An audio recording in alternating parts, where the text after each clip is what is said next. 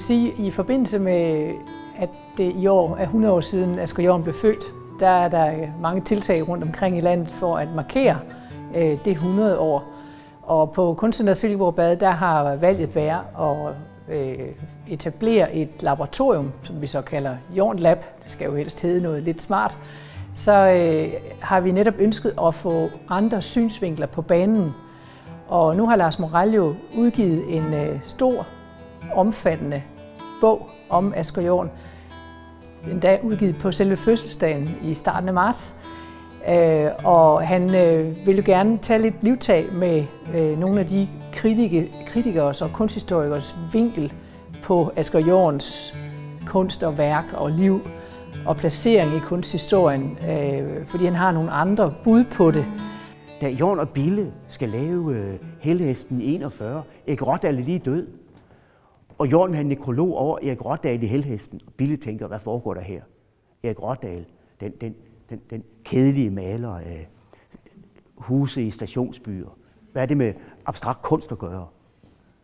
Men Jorn insisterer, og der kommer jo faktisk tre nekrologer i første nummer af Helhesten over Erik Rådal. Det er selvfølgelig fordi, at Jorn kan se de der bløde bakker øst for Silkeborg. Det, det, jeg har alligevel en form for råd der. Det er jo det, han river sig løs af i, tre, i, i, i 36, da han kører til Paris. Der river han sig løs af mange ting. Familien, Silkeborg, egnen, Jylland. Han skal, han skal ud af det hele. Men allerede fem år senere er han klar over, at der er ting, man ikke kan rive over. Og han kan se, at, at, at det han jo kalder de jyske linjer, at han, han, har, han er bundet dertil. Ligesom Søren J. Nielsen var det, ligesom Ejner Nielsen var det, ligesom Erik Rådal var det. De ting, man jo også kan se på Museum Jorden. Eller som Martin Kolon Jørgensen var det. Altså det lokale. Ikke det nationale, ikke det danske, men det lokale. Og det, det, det, det, det er det, som alle vil gerne øh, fremstille den kontroversielle jorden. Og, øh, og og de, de unge kuratorer, de, de er selv historieløse. De er selv rådløse. Øh, de er jo ikke hjemme nogen steder. Og øh, de er selv restløse. Og derfor kan de ikke se det element hos jorden, der er det modsatte, som har, har, har, har hjemme i et bestemt sted, som er bundet til et bestemt sted. Det han kalder de jyske linjer. Det er midtjyske. Leret. Vævekulturen. Almuekulturen bondekulturen. Og så man langsomt begynder at grave frem, hvad er for noget? Det er den, den der dag, hvor jeg var i, i Trust, og så i Sminge, og så kom jeg til Såring. Det er et par år siden. Pludselig kunne jeg se, at det hænger jo sammen det her. Det er landskab. Den anmulekultur. Det er lertøj. Det er væveri. Den måde at komponere et billede på. Et landskab har nogle bestemte konturer. Og det er de konturer i det landskab, som, som Jorn aldrig slipper. Og det er der, jeg synes, at Jorn er en meget mere spændende kunstner end, end Pollock, som man jo hylder. De samme kuratorer hylder jo Pollock, fordi han lige præcis er helt fri, helt ubunden, kaster rundt med farven. Jorn, Jorn, Jorn har aldrig den frihed, som Pollock har, for Jorn har altid sådan lige en horisont for oven, ikke? Ligesom på Stalingrad, hvor han, hvor han i, i, i 67, øh, han maler det billede i tre perioder, fra 56 til 60, i 67 og i 72. Ikke? Det er de tre omgange, hvor han maler Stalingrad. Og i 67, hvor det er udstillet på Salon de Mai i Paris, sniger han sig jo ind og, og, og maler den der grønne horisont for oven. Og, og det, det, Jorden har altid lige den der horisont for oven. Blå eller grøn eller orange, det er jo lige meget. Han har lige den der smalle horisont. Og det har et Pollock-billede jo aldrig. Han slutter det aldrig af med den der horisont for oven. Det er fordi jorden har lige de der jyske linjer, de der konturer fra landskabet. De der bakker, der som diagonaler drejer sig op og slutter i den høje horisont. Jeg forstår ikke den der øh, begejstring for situationisterne. Jeg synes, det er fint nok med situationisterne.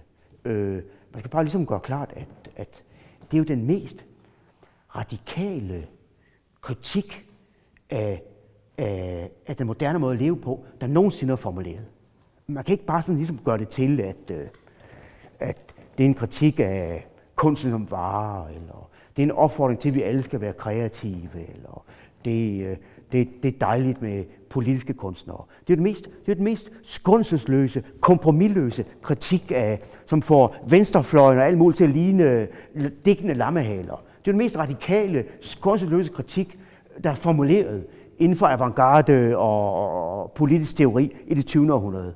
Øh, øh, bortset fra, at jeg ikke mener, at det spiller nogen større rolle for jorden. Og så, og så i øvrigt synes jeg, at, øh, at De Boer er en dårlig medieteoretiker. Og man kan jo også se i 60'erne, at det er jo sådan en som Marshall McLuhan, der spiller meget større rolle i kunsten, den kanadiske medieteoretiker. Han har meget bedre fat i det, der sker øh, med, med telefoner, computer, øh, øh, tv, øh, tabloidaviser. Øh øh, øh, øh, han har meget bedre fat i de ting, selvom han jo slet ikke kendte mobiltelefoner, ikke kendte computer, han kendte kun tv og, og almindelige faste telefoner. Og alligevel kan han se alt det, vi sidder øh, midt i i dag. Der synes jeg, man øh, overser Gaston Bachelards rolle. Det er jo det. Alle Jorns billeder handler jo om noget, forestiller noget. Jorn laver jo et billede ved, at han har nogle bestemte figurer, som man flytter rundt på. Så tag nu øh, det store tavle, der er herude, altså fotostaten af, af, af Opus af den tavse myte. I ved, han laver tre billeder til øh, Silkeborg Bibliotek. Han laver det her øh, øh, livshjulet, som, som, som brænder et halvt år senere, og som nu er blevet restaureret, og som er på Museum Jorden. Så laver han øh, de to store, det blå og det røde. Og, øh, og øh, hvor det røde jo hænger herude. Og, og det er jo nogle bestemte figurer, han flytter rundt på nederst til højre er der denne her, sådan et, som hedder en kopfødsler, et hoved på ben. Og i venstre side har vi jo det, som jeg kalder det heraldiske skræmmedyr, det, som ligner sådan den tyske ørn, symmetrisk, kigger i bedst, begge retninger. Og nederst til venstre er det disse her forskellige grønne søslanger, der farer op og ned. Og sådan har han jo nogle bestemte figurer, som man flytter rundt i alle sine billeder. Og han bruger den både som keramik, som skulptur i bronze, i maleri, i tegning, i grafik. Det er de samme figur, flytter rundt på hele tiden. Og, og altså, altså, langsomt lærer man ikonografien at kende og siger, der er den figur igen. Der er, hvad, hvad er det, han holder i hånden på det billede? Kan vi ikke se det lidt bedre på et andet? I ved, da han, øh, jeg tror det er i vinteren 47-48, er på Djerba i, i Tunesien, maler han det ret kendte billede, hvor at, øh, der er sådan en slags øh, solgud, en mand, hvis hoved samtidig er solen, og manden står på en hest og holder noget i hånden, og ved siden af er der et stort træ. Og, øh, og, øh, og øh, måske kommer det fra Picasso. Picasso elskede jo at fremstille gøjlere, akrobater, klovne. Det gør hele modernismen. Det gør Jorn også. Og fremstille sig selv som en linegænger og, og linedanser. Og øh, han står, der er en hest, han står på ryggen af den hest, og han holder noget i hånden, som ligner måske en lighter, måske en tændstik, måske en flamme, måske det er en trækløver. Den er sådan delt i tre. Og hvis I ser på det billede, der hedder Såret vilddyr, som man selvfølgelig maler lige da han blev indlagt på sanatoriet, selvfølgelig et selvportræt. Det der sårede vilddyr, det holder, også, holder præcis den samme trækløver eller tredelte form i hånden. Præcis den samme. Og det er altså et eller andet, der betyder noget for ham deri. 47, 48, 49, 50. Den der tredelte flamme, eller tre, trækløver, eller blomst, eller hvad det er, betyder et eller andet for ham. Og sådan er det, det er de samme ting, han flytter rundt. Og så forsvinder de. Så dukker de op igen 20 år senere. Og det er på den måde, man kan fortolke hans billeder. Det er at prøve at finde ud af, hvad er det for en ikonografi? Hvad betyder det for ham? Manden, der står og balancerer på ryggen af en hest og holder et eller andet tredelt i hånden. Det er nok kunstner, det er nok ham selv, der imponerer med sine gøjlernumre.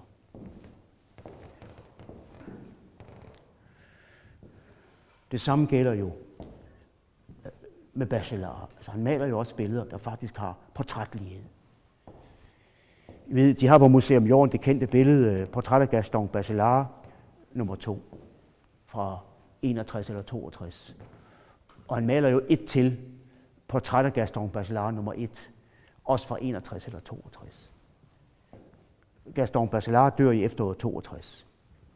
Og øh, Øh, hvis man læser Atkins, siger Pierre Bemar, at da de laver øh, den lange rejse, øh, går på længden, så øh, besøger jorden på det her tidspunkt, altså omkring 60, 59, 60, 61, der besøger han jævnligt Bachelard.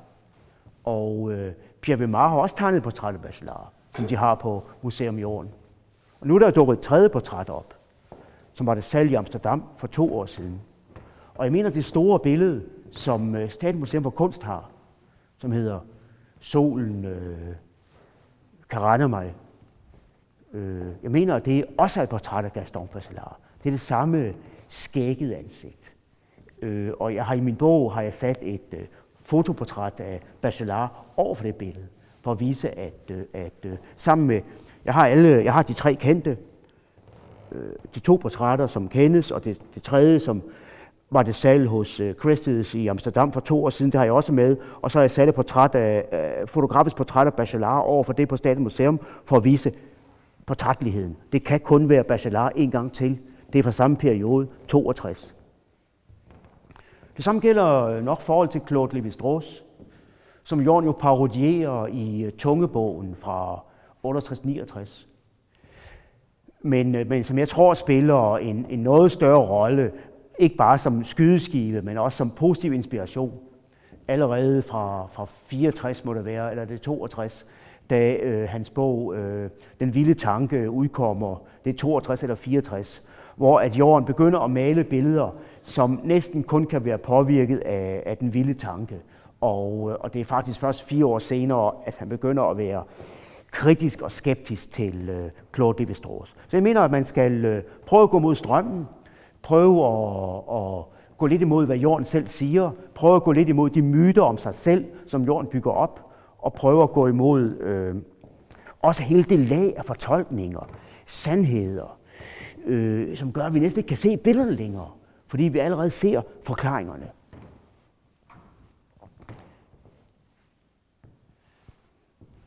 Øh, en ting, der spillede en, en, en stor rolle for mig, det var, det var for et år siden, øh, hvor, hvor jeg sad sammen med øh, Per Kirkeby, og øh, han, har, han har været meget syg i lang tid, og øh, han siger, øh, Lars, øh, jeg tror ikke, jeg kommer til at male store billeder mere. Så siger jeg, om det så kan du bare male øh, nogle små, siger jeg. Øh, øh, siger nej, siger han.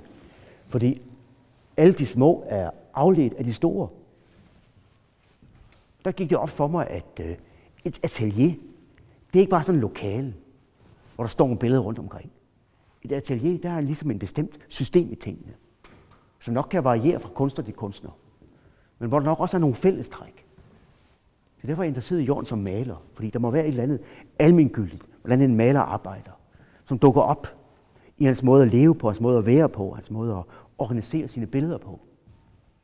Og, og, øh, hos Kirkeby er der altid et stort billede på endevæggen, som måler 3 gange 5 meter. Og på den anden væg, endevæg er der måske et lidt mindre, der måske er 2 gange 3 meter. Og så er der på hver langside måske, øh, på hver langside måske øh, nogle smalle i højformat. Sådan 1,80 gange 1,50 eller sådan noget. Så står der og maler det der store billede på endevæggen, 3 gange 5 meter. I ved med klipper og træstammer og stubbe og i ved, hvad der kan være, ikke?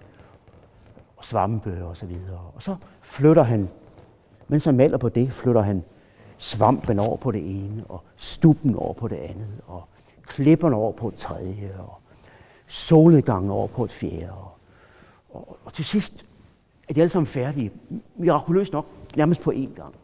Og, det ligesom, og de mødes jo aldrig mere. Det er jo det mærkelige ved det. De er opstået sammen og udgør jo egentlig på en eller anden måde en helhed. Det hele er i det store. Og alle mellemregningerne er flyttet over i de små, og, og, som varierer temaer, undersøger fragmenter af det, som er en helhed i det store. Det, det er jo, det, det, de mødes jo aldrig mere. Man, ser, man vil aldrig se dem i en bog eller på et museum sammen igen og tænke, af hvor de hænger sammen, og han havde et problem der, og det prøvede han at løse på lidt mindre, før han gik videre med det store. Og, og det derovre, det fungerede der, og man blev malet over på det store og forsvandt bagefter. Man, man ser dem aldrig den helhed mere. Og øh, sådan er det jo også øh, hos jorden. Man, man, man ser aldrig rigtig helheden mere. Også den helhed, som er øh, samspillet mellem de enkelte kunstarter. Jorden har jo mærkelig, mærkelig relation mellem de forskellige kunstarter. Det er igen det der, at det er alle de myter, han går og skaber. Ikke? Da Cobra tidsskrift nummer 1 kommer i 49. Cobra er skabt der i november 48, og første nummer af bladet kommer i 49. Jeg tror, det er det danske nummer. Og øh, der har han den der, der hedder Discours au pingouin. Tale til pingvinerne, altså tale til pingerne. Og, og øh, som de citerer øh, på en af væggene over på Statens Museum, hvor han jo skriver, at han er imod øh, rationalisme, det er borgerskabets filosofi, og i stedet vil han gå ind for spontanitet. Og vi, vi maler spontant. Vi vil ikke arbejde rationelt. Det er den borgerlige individualisme. Ikke? Og det er jo skabt den der idé. Det hedder jo også spontan abstrakt kunst. Og, og øh, vælger det dig spontant. Og, og det kan man jo se i hans egen arbejdsmetode. Han lavede den der bog, som Troels Andersen udgiver i, i slutningen af 70'erne, men som Jorn jo egentlig vil have ud omkring 1948 med sine tegninger. Han er jo en meget selvbevidst mand, og han ved, at det, han laver, er, er væsentligt og bør dokumenteres. Og han er jo klar over, at, at, at hans virkelige bidrag, måske det eneste rigtig væsentligt i 30'erne, da han er ung, det er tegningerne. Og, øh, og der var vi han som det første dokumentere sine tegninger i 48 med den der bog med tegninger, fordi han mener, at de tegninger, han laver i 30'erne, har været væsentlige. Så er de jo ikke mere væsentlige. Richard Mortensen er jo en væsentlig bedre tegner på det tidspunkt, men lad det nu være. Og øh, der kan man jo se, at alle hans malerier fra slutningen af 30'erne og begyndelsen af 40'erne, de er jo tegnet igennem fra ende til anden, inden han maler dem. Og endnu mere kan man jo se, at han jo elsker at lave et motiv som litografi, før han maler det. Der findes øh, hans store udstilling hos Galerie Jean Boucher i Paris, som åbner i november-december 70, hvor der er en rigtig flot orange plakat til litograferet hos Bramsen. Og det samme billede maler han på Læsø. Så tænkte jeg, ah, det kan ikke passe. En hver ved jo, at udstillingen åbner i november-december 70, og plakaten er dertil. Og så er der maleriet, som er fuldstændig magen til. Og så tænkte jeg, ah, det kan ikke passe. Kan det virkelig passe, det er lavet i sommeren 71? Altså et halvt år senere, ikke? Det, det må være omvendt. Men det var ikke sådan. Han laver litografien og en litografisk plakat i november-december 70, og maler det samme i øh, august 71. Det er jo ikke videre spontant. Det gør han igen og igen, det nummer. Maler det som litografi, trykker det, et eller to år senere maler han det. Det er jo ikke spontant. Det viser bare, hvordan han er fantastisk sikker, formsikker. Han ved, hvad han vil. Og det er det, han bruger værkstederne til. Der er jo en spændende øh, dialog mellem ham og, og håndværkere. Og det er det, han bruger de litografiske værksteder til. Det er at få formen på plads, tegningen på plads, dispositionen, farvernes rækkefølge. Alt det, som man skal, skal vide, når man, inden man trykker et litografi. Der skal man jo have farvernes rækkefølge. Det hele skal sidde på plads. Og når det så, han har stået der på værkstedet og arbejdet det igennem det hele på plads, så kan han male det bagefter, uden rettelser, uden at ændre det. På den måde øh, øh, er jorden ikke altid den jord, som man gerne selv vil give indtryk af. 50'erne er jo en fantastisk tid, og vel stadig den, en af de tider, i hvert fald i jordens værk, vi kender ringest. Det, det, det, det øh, gør, jo, øh, gør jo et kæmpe indtryk på ham, da han jo nærmest ved en fejl kommer til Albisola i foråret, efter, foråret sommeren 54. Han ville jo have været til Frankrig, og han har ikke råd og vil tilbringe nogen tid i Milano eller Venedig, og pludselig bliver han hængende op der, hvor spændende det er der et par kilometer syd for Milano i Albisola. Der er jo en masse sindssygt dygtige folk på det her tidspunkt. Altså Albisola bliver et tidspunkt, de laver traditionelt potte, potte, potte keramik med, med deres øh, majolika og sort-hvid glasur. Og de laver meget traditionelle ting. Og der er et sted, hvor de ikke laver de traditionsbundne ting. Det er Masotti. Der er en masse, han tager op kunst og keramik, og der er en masse sindssygt dygtige folk.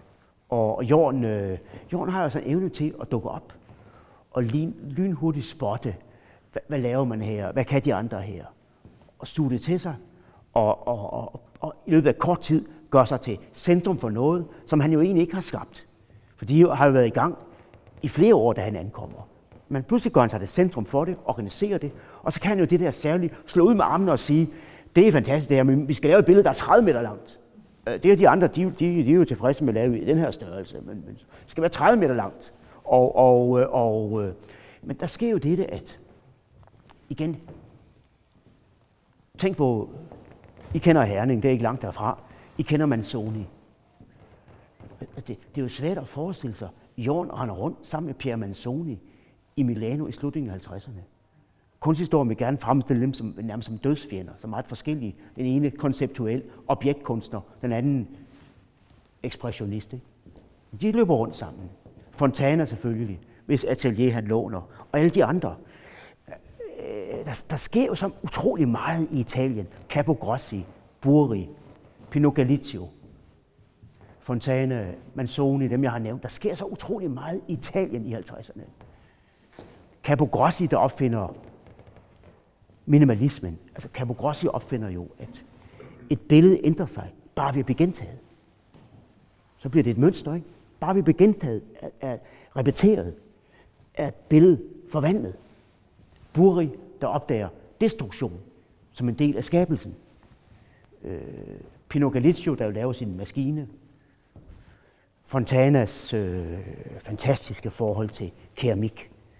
Øh, alle de her ting.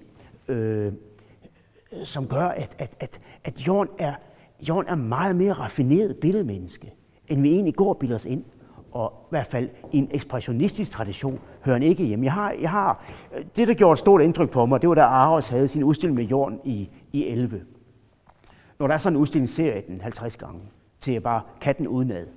Og hvor jeg for eksempel opdagede en af disse her berømte øh, luksusbilleder, at der var både sceneret i bunden og i toppen. Det vil sige, at, at man kunne dreje det. Det var signeret. Lige meget hvordan det vendte, var det altid signeret nederst til højre. Lige meget hvordan det vendte. For det var signeret flere gange rundt. Og det er jo en frækhed, ikke? Billedet kan vende på flere måder, og lige meget hvordan vender det, det vil altid være signeret nederst til højre. Og, og, og det, det viser noget om, at den her fyr har et øh, avanceret forhold til, hvad et billede kan være. Og, og, og det der avancerede forhold til, hvad et billede kan være, det, øh, det er det, der fødes i 30'erne ikke? Øh, i Paris. De tre ophold i Paris. Og jo med, med øh, to ting. Det ene det er jo automattegningen.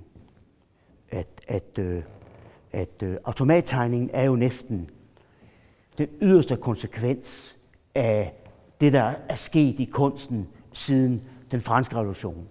At det bliver mere og mere bevægeligt. Alt det faste forsvinder. Det bliver mere og mere øh, øh, åbent. Ses fra flere vinkler. Det der også ligger i kubismen. Men med automattegningen har vi jo pludselig virkelig brudt med det enøjet perspektiv, som man siger. At man ser alt fra et bestemt punkt. Med automattegningen drejer øjet jo rundt og ser alt fra mange vinkler. Alt det ligger i filmkameraet også. En gang blev Jens Jørgen Thorsen spurgt, hvad er det, kameraet kan, som andre synsmåder ikke kan. Og han svarede, jamen det er, at det er ligesom man ser alt, som om man kører i en rutsjebane i Tivoli. Og sådan er jo også en, en automattegning. Det er som om man ser alt fra en rutsjebane i Tivoli, op og ned og ud og ind. Og det skifter hele tiden synsvinkel. Det er det ene, det er automattegningen. Det andet er jo ideen om at tegne på gennemsigtigt papir og lægge dem oven på hinanden. Superimposeringen. Og lægge flere tegninger oven på hinanden. Det er jo indbegrebet af forvandlingen at den ene tegning griber fat i den anden og transformerer sig. Og så selvfølgelig tilfældigheden. Det er jo det, som er det afgørende ved jorden. Hvordan kan han holde sig bevægelig hele livet? Ikke som Egil Jacobsen, Karl Henning Pedersen, fremragende kunstnere, men de finder jo en form.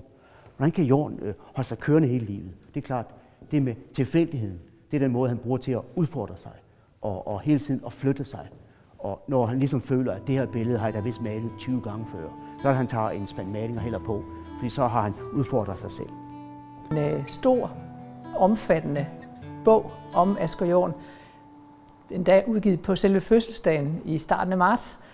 Øh, og han øh, ville gerne tage lidt livtag med øh, nogle af de kritikers og kunsthistorikers vinkel på Asger Jorns kunst og værk og liv og placering i kunsthistorien, øh, fordi han har nogle andre bud på det. Og det er jo lige præcis øh, noget, der passer godt med vores øh, laboratorieidé på Silkeborg Bad i øjeblikket, fordi vi vil gerne se, hvordan eftertiden ligesom adapterer øh, jorden eller ikke adapterer.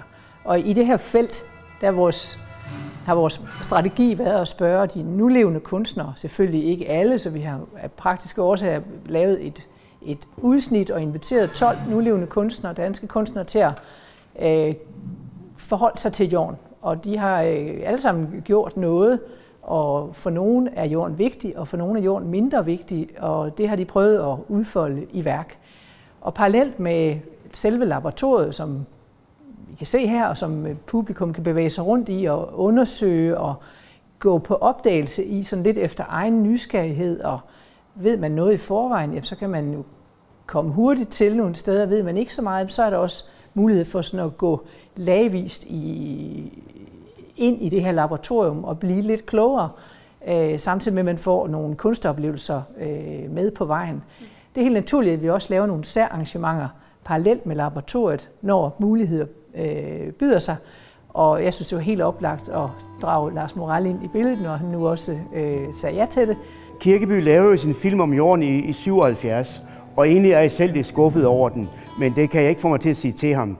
Og øh, han, han øh, jo, fordi det jeg savner ved den film, det er, at han, øh, som den fremregnende maler han er, stiller sig hen foran et Asger Jorn-billede og siger, prøv lige at se her, kan I se den måde, han gør på, og så bruger han den farve sådan og sådan, og se lige det der, og så trækker han den linje her. Og jeg, altså jeg savner, at han selv stiller sig foran kameraet og, og, og føres ind i nogle billeder af sine øh, forgængere.